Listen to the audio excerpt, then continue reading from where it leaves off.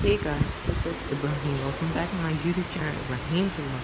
So guys, today we're gonna review Toyota Corolla Altis 1.8 Grande. This is the X model 2021 facelift. So the, let's start the review. These are the projector headlights with DRLs and indicators. This is the fog light and this bumper came in 2021. We also have a front camera and guys if you haven't watched the civic review you can go to my channel and just check. So from the side as you can see it's yokohama tires and the wheels are from 2017 this is the retractable mirror side and then the side skirt. Here we have a smart entry and uh, this is the chrome trim. Here we also have the strip this is the back of the car. We have Go Altis 1.8x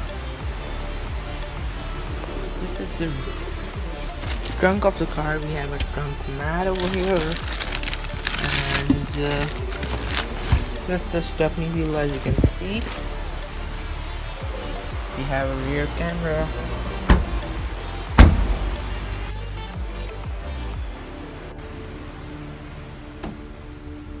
어쨌든 내가 좀 지키더라고요. 알았지?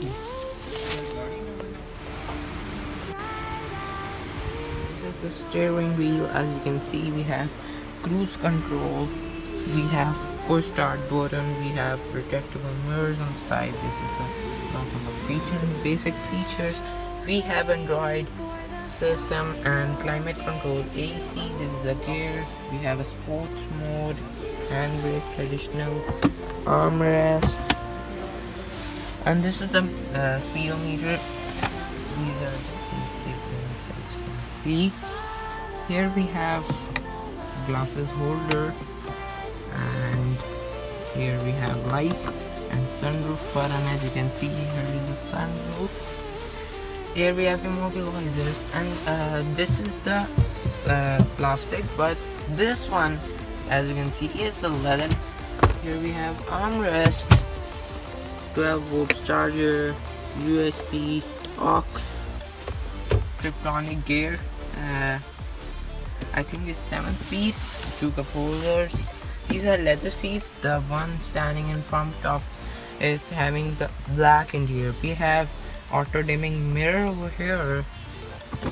And here we have the vanity mirror plus light.